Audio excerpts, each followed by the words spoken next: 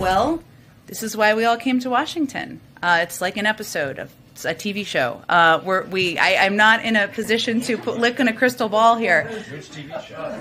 Maybe The West Wing, if something good happens. Maybe Veep, if not.